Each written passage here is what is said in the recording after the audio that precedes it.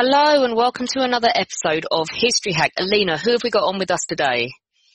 So Euan Roger is a medievalist and Tudor historian. He's also a medieval record specialist at the National Archives and he's here to talk to us about Chaucer. Hi, welcome. Hi, hello.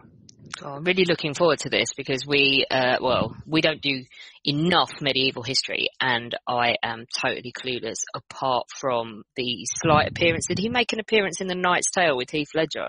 He did, yeah, 2001, A Knight's Tale. It's, And uh, it was yeah, Paul Bettany, right? yeah, definitely. That's it. so that's the only thing in my head I have about Chaucer. So start off, tell us, who was he? So Geoffrey Chaucer was a 14th century English poet, and he's probably best known for his work, The Canterbury Tales. Um, but as well as his kind of like writing and his poetry, he was also a courtier, an accountant, a diplomat, and what we would now call a civil servant. Um, and he leaves behind hundreds of what we call life records, which are essentially fragments of his like personal and professional life, um, through which we can kind of piece together and try and work out who the real Chaucer was.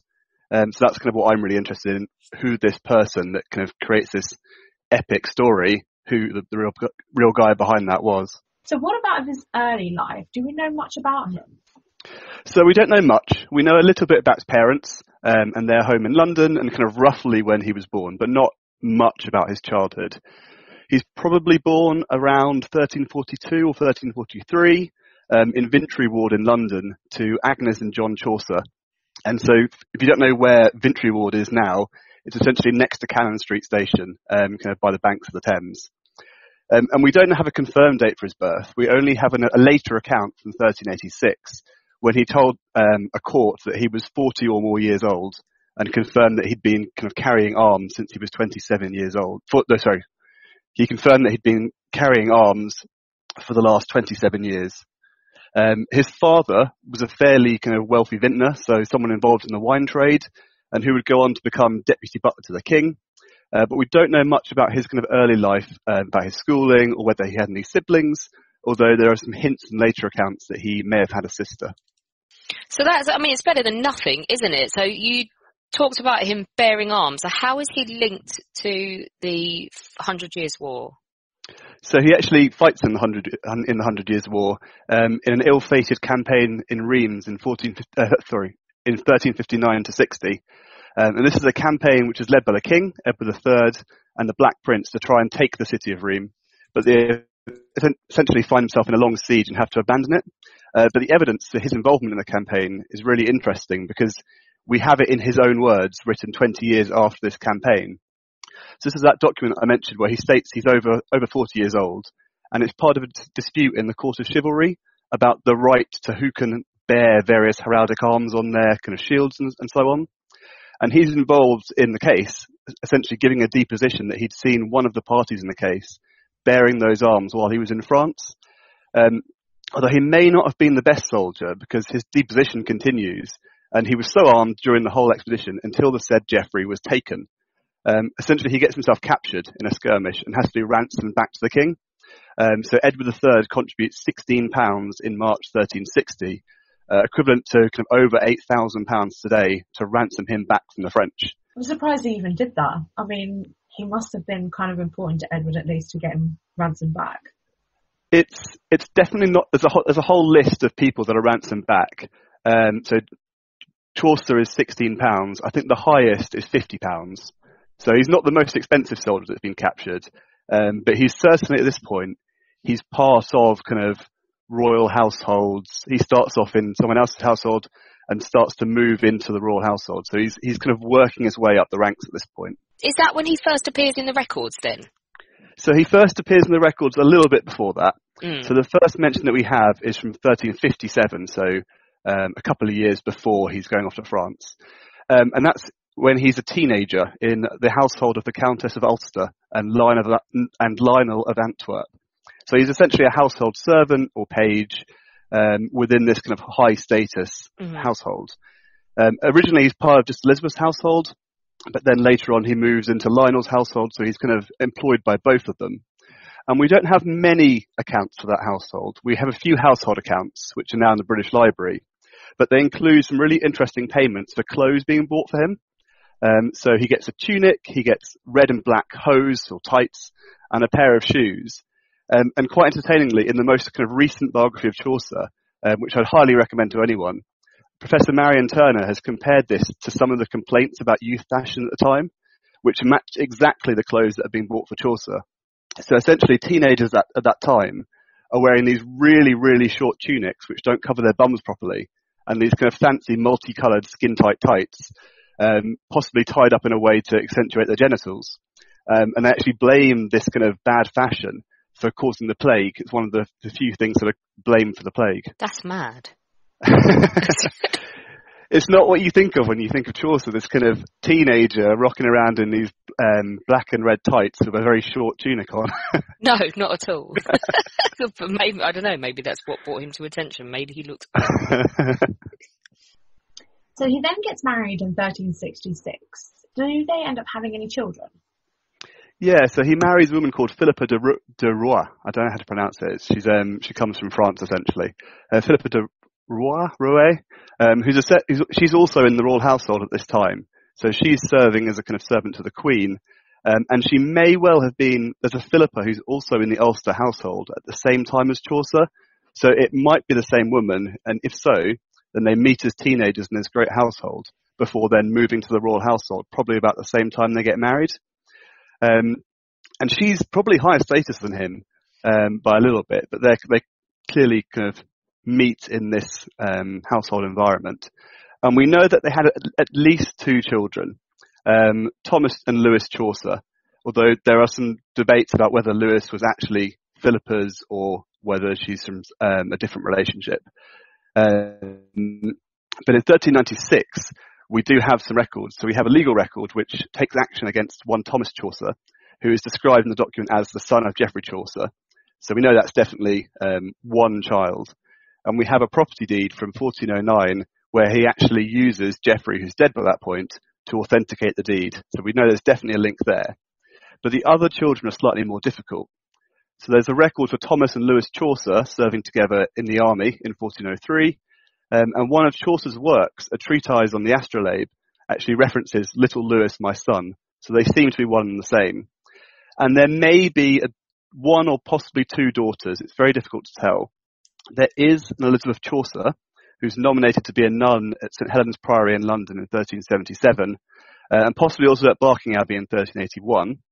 Um, and there's an Agnes Chaucer, who's recorded as a lady, to wait, lady at waiting at Henry IV's coronation. But so little information survives for these women, it's very difficult to tell kind of for certain.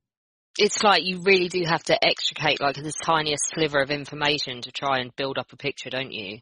Yeah, people have been essentially putting pulling together these life records for the last hundred years, um, and we're still finding more and more slivers that you can kind of match together to actually tell this story. That's but it's also very different because names are not like always spelt the same way. So, no, there was like you just mm, they can't even Shakespeare signs his name how many different ways? Yeah, exactly. So Chaucer can be spelt in a whole lot of different ways, and it's trying to work out is that the same Chaucer? So the Elizabeth, who's the nun, one of the accounts calls her Elizabeth Chaucy, um, which is kind of similar, and you have to use a lot of extra background information and documents to try and piece those people together. Yeah, I am not envying you from my 20th century pedestal where there are census returns and things like that. Um, is his relationship, we did a podcast on John of Gaunt, is his relationship with him important? It is, yeah, because, um, so John of Gaunt, it, he's the king's third son. He's one of the leading nobles in the land. He's probably also about the same age as Chaucer, so they're very different statuses, but they are kind of growing up in this household military environment together. And they certainly met early on. They may have served in the wars together.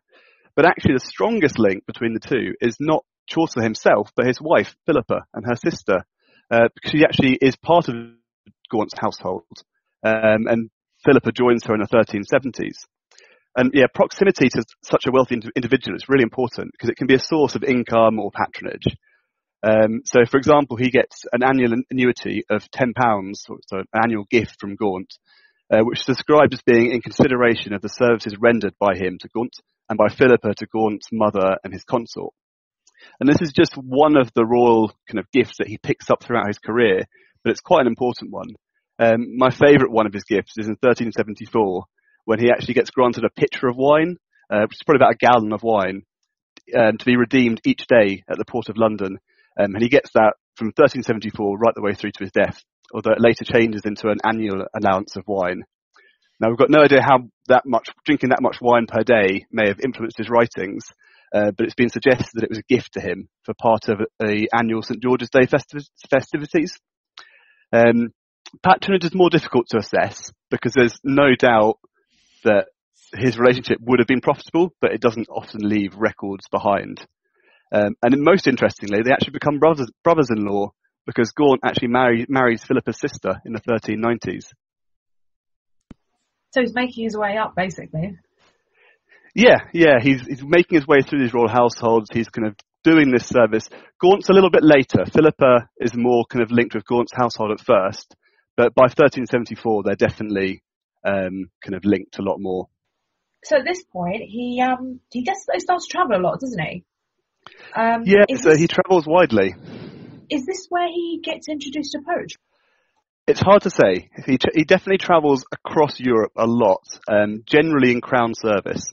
So between 1372 and 1373, he goes off to Genoa and Florence to negotiate some commercial agreements and probably also to try and secure loans for the English crown.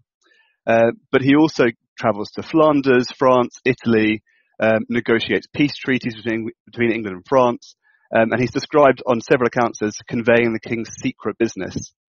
Um, and we also know he goes to Spain, so he's clearly experiencing lots of different styles, cultures, and individuals. And there's been a lot of discussion about whether he met kind of prominent European poets and writers of the time, so Boccaccio, Petrarch. But unfortunately, we don't really have that information recorded. So his account, the accounts and documents that are produced are very much um, paying him for his journeys or accounting for his costs while on journey, uh, rather than who he's meeting. But I'd say he's definitely going to be introduced to new styles, new European uh, concepts. Um, but it's also worth mentioning that he would experience a lot of poetry, literature, and culture, both within the royal household, which is one of the grandest in Europe. They have absolutely mad parties every year, um, and also in the Ulster, Ulster household. So it's certainly not something he can only find in Europe. It's probably just a different style, a different influence that he finds out there. You know we're going to segue onto this. Why are the parties mad? They um, Edward III really likes a tournament or a kind of big chivalric party. Um, often to do, he, he founds the Order of the Garter at Windsor Castle around this time. And so every year you have kind of garter feasts, um, and there's a lot of accounts for Edward buying costumes for everyone to wear. So there's one account where lot, um, he, he buys, I think it's 10 to 20 monkey costumes for people to wear, and people actually dress up as monkeys or just as peacocks and kind of put on these grand shows.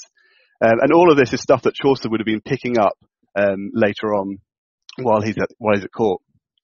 I really want to go to a party dressed as a monkey now, a medieval chivalric party where everybody is dressed as a monkey, even though the woke contingent would go absolutely schizo, wouldn't they? Yeah, definitely. so, um, when does he start writing? so his first kind of major work is dated from around around 1368 or in the years just after that, uh, and it's called the Book of the Duchess, and it's written to commemorate the death of Blanche of Lancaster, who's John of Gaunt's, John of Gaunt's wife, um, who dies in 1368. He, he, might have done some translations or some short pieces before that, but the whole issue of dating these documents is really complicated. Um, so that's when he kind of starts, and it's often said that in the 1370s and 80s, that's when he really kicks on with his writing. And there's a really interesting line in one of his works which kind of accentuates this. It's in a work called The House of Fame, which is sort of a dream poem where he's led around a glass palace by an eagle, um, looking at famous deeds and characters from the past. But one of the lines he puts in there is he writes, For when uh, thy labour done all is, and hast made all thy reckonings, so he's talking about accounting here, instead of rest and new things, thou goest home to thy house anon, and also dumb as any stone, thou sittest at another book. So he's talking about working all day. This is uh, probably at the customs house when he's doing this. Um, and then going home to work on these kind of literary feats. The Canterbury Tales. Everyone knows it. I'm assuming everybody out there knows it. Um, it's speculated that the knight was based on Sir John Hawkwood. First of all, is this true? And is this how he finds his influence through the people he meets? So there's been a lot of discussion and debate over the centuries about Chaucer's inspiration for the characters, um, including in my own work. And it's, I think it's important to acknowledge that we can kind of put these ideas about inspirations out there, but there's always going to be that mix of between, in any fiction work, there's going to be a mix of literary tropes, literary styles, embellishment, alongside those real life experiences. So it's really difficult to unpick. And particularly in the medieval courtly um, environment, there's a lot of really strong literary models being used around Europe. And while Chaucer does like to play with those models and sometimes subvert them, there is a literary structure that he's copying and using. Um, and I'm not entirely sure how far I agree with the idea of Sir John Hawkwood as the inspiration for the Knight's Tale. In part because Chaucer's own experiences in Europe and in the royal household, as well as the wider chivalric culture of the time, would have given him loads and loads of possible inspirations for knightly characters. We do know that Chaucer and Hawkwood met in Lombardy in 1378, so it is possible that some of those traits are drawn from Hawkwood. But I think that kind of argument that Terry Jones made about Hawkwood as the inspiration was kind of looking more at the literary style of the Knight's Tale rather than necessarily digging into those life records to make the case. But we do know that some of the figures were definitely more grounded in real people and real events. So we know the host of the Canterbury Tales, um, a man called Harry Bailey, he is a real individual in medieval Southwark. Um, and that's the location where inspiration for other pilgrims might have come from as well. Um, so I do think there's more to be said about reassessing these characters and the kind of real life Chaucer, uh, particularly as access to archival collections has really increased since these kind of early speculations. People got very, very carried away originally trying to identify characters. And I think now we've kind of reset and we're rethinking it in a much more archival way to try and identify these, these figures. I've got to ask you, why is the Canterbury Tales so important and what's your favourite story from it? So it's probably his best known work, um, and it tells this story of a group of pilgrims travelling from London to Canterbury who have a storytelling contest to pass the time on their way. Um, and I really like it because it's a way of producing these characters who are in part uh, parodies, in part they're kind of social commentary, um, and in part they might be his these inspirations. But I think the idea of these people telling their stories is a really uh, interesting one, and it's a way that, that you can kind of live, you can kind of um, you can empathise with some of these characters and their situations. Um, some of them are very funny. These stories, so I think it's just a really it's a good good compendium of stories pulled together in one piece. My favourite one is actually one of the least well known ones, which is mm-hmm. the Canon's Yeoman's Tale. Uh, because I actually never ever planned on working on Chaucer, but I got drawn into this life records world by trying to um, disprove one of these previous conjectures. So there was, there's been a case made previously that the Canon's Yeoman's Tale um, was actually based on a real life case of um, counterfeiting by alchemy in the highest court, legal court in the land. Um, so the story of the Canon's Yeoman's Tale is essentially a priest working a, an elaborate uh, alchemical swindle on a victim for financial gain. So he turns up in the Canterbury Tales. He's not one of the original pilgrims, but he catches up with a party a few miles from Canterbury. Um, the yeoman essentially, um, so the, the, canon's servant, tells his master's story after the canon um, is outed as an alchemist and runs away in secret. Um, so the second part of the tale, which is the part I'm really interested in, is about the canon um, who's a, a priest, convincing a London priest of his skills in changing base metals into gold and silver and cons him into paying £40 to learn how to do alchemy. But essentially, the, the priest, it's all, um, what's the word? It's a, it's a complete con. He's, mm. he's got, um, metals hidden in other, in kind of his, um, cane, his kind of stick. He has things hidden in his sleeves. So he basically cons this guy to pretend that he's changed metal into gold and silver, gets paid for it, and then disappears, and the guy can't reproduce the alchemical trick because it was never alchemy in the in the first case. So people found this. so people found this story um, kind of this, in, in um, a while ago, and they identified that this is really close to this legal case. Um, and they got very, very carried away and overexcited, and they thought Chaucer's been learning alchemy. Chaucer's been conned by an alchemist. This is his revenge.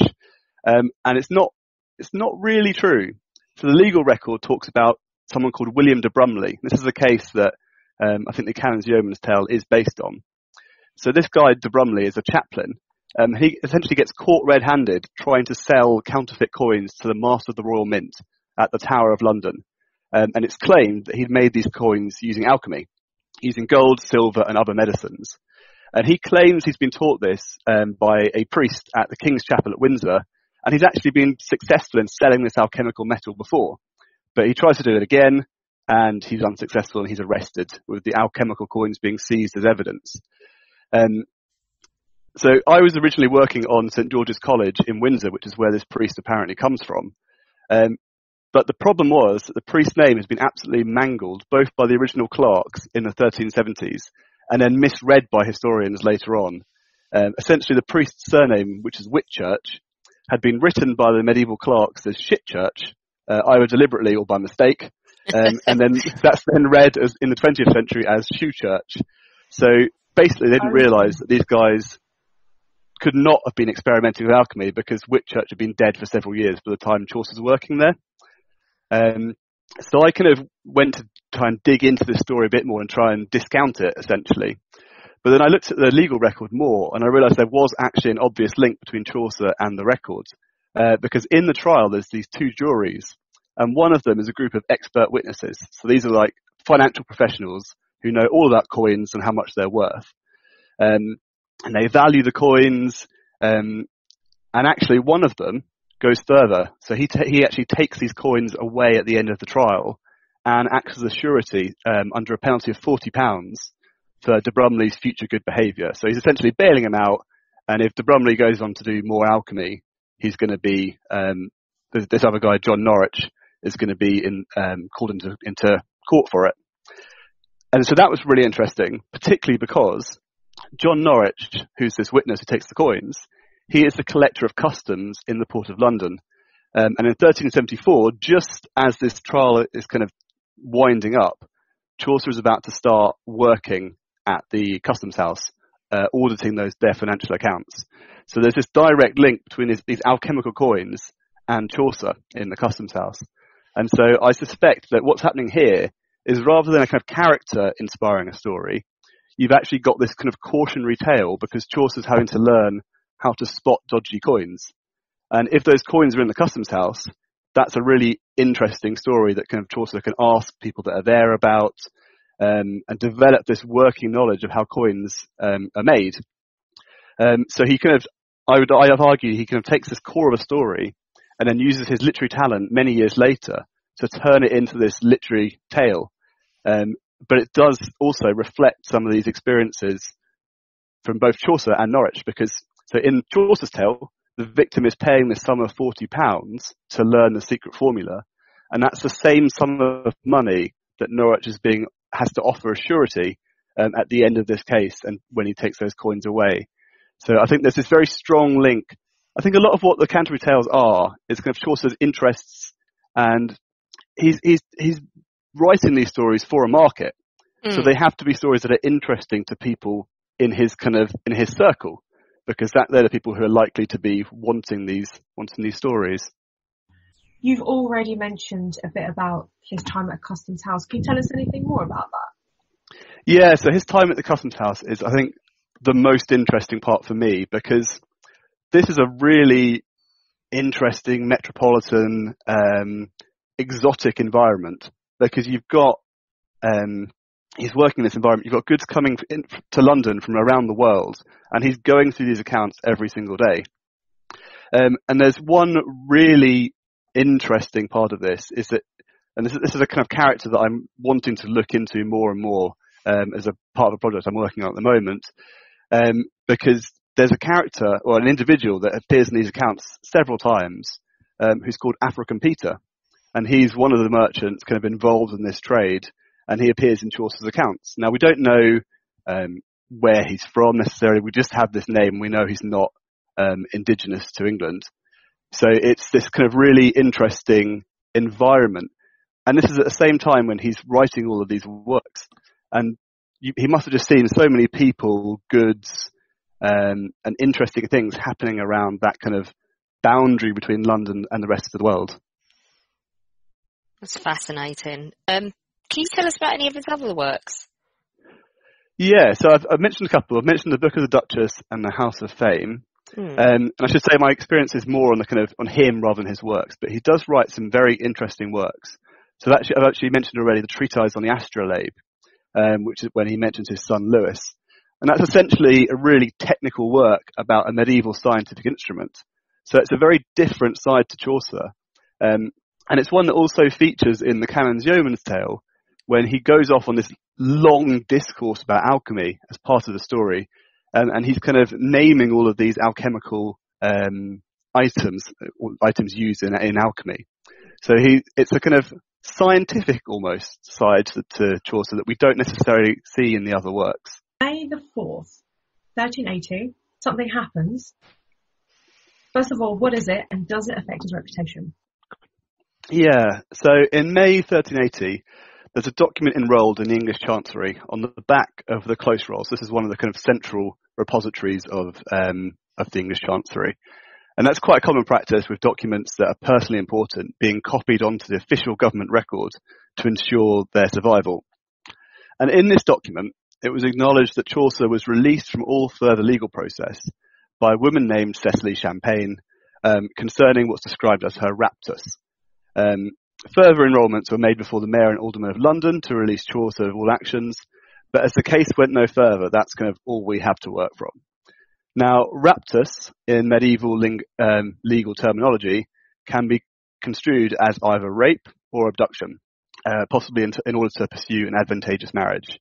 And this case has been read in both ways by historians since it was discovered in the 19th century. We don't know much about Cecily. We know that she was probably the daughter of a London baker, um, William Champagne. And abdication of young people in order p- to p- pursue marriage was something that happened in medieval England. And Chaucer's own father had been abducted in the same way by his own aunt. Um, and similar language was used in the legal documents there, although with the word abducted added in. And recent work has suggested it's possible that Chaucer may have been trying to make a marriage for one of his wards, but at the same time, I really don't think we can rule out the possibility that this was rape. And so I think we have to think about how we viewed Chaucer in that light. Um, it didn't affect his reputation at the time, um, in the legal documents, he essentially has his all his powerful mates turn up and kind of act as sureties. But I think particularly now and in recent years, mm. it has, um, yeah, it's it's it's made us think differently about Chaucer. It's a bit grim, isn't it? Yeah. Um, why but does it's, he? It's so. Go on. You finish. I was just going to say it's it's so uncertain what happens um, because he Chaucer is very very good at settling disputes outside of court. Um, it's something that happens quite a lot, but every almost every time Chaucer is mentioned in a legal dispute, it vanishes from the record. So he is very good at settling these kind of any legal problems outside of court, essentially paying people off, and that's what this is. Um, he's, he's paying up so that this legal process stops. Yeah, it's like if you were that nice in the first place, you wouldn't keep having people start legal things against you, would you? a lot of it's debt. Ah, okay. Um, debt, debt happens quite a lot. Why does he stop working in the end, and what happens to him in later life? So he serves at the um, customs house for about 12 years, just over, and then he retires from both the wool and the, the petty customs, the rest of the customs, in 1386. And this is a, kind of amongst concerns about people being granted these positions for life. Um, he's also just served as an MP for Kent that year, um, so he's kind of semi-retiring. And then in 1389, he goes on to this new administrative position um, as clerk of the works. So in this capacity, he's responsible for maintaining and any building works at the royal castles, so including at Windsor and the Tower of London, among other uh, places. Now, he does kind of maintain a connection with the London Customs House because that's where he gets his money from for these projects. Um, but he does all sorts of different assignments. Um, in 1390, there's a massive storm in the south of England, and he's appointed to look at all the walls and ditches between Woolwich and Greenwich, um, which floods quite a lot. Um, he also has to um, he plants lots of willow trees along the edges of, um, of, rivers and so on. Tries to prevent pigs from destroying riverbanks, Um, and when that storm happens, he also has to deal with the consequences um, because it's, it's blown down 104 oak trees. So he has to kind of sort out the, the aftermath of that. So he's kind of still working in this capacity, in this, this kind of financial accounting um, capacity. Mm. But that probably makes him a really tempting target for thieves because he's moving around around the country. He's transporting money and valuable goods. Um, and in 1390, he is robbed by highwaymen at a location called the Foul Oak in Hatcham. Um, and he has 20 pounds of the king's money um, stolen from him by someone called Richard Briley. Um, and it's uncertain from the testimonies whether there's one robbery or multiple robberies. Um, it's, that's not really certain. So he gets robbed by this guy who, who takes to court.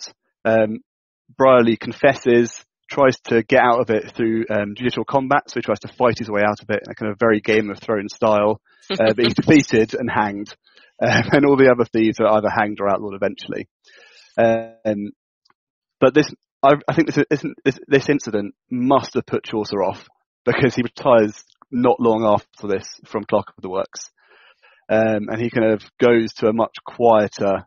Um, we don't know much about him in this period. We've got there's a, there's a few. He keeps on a few roles, but he kind of very much steps back, and he's only in his fifties at this point. Um, but he does, yeah, he kind of stops becoming an accountant and seems to spend more time in Kent initially.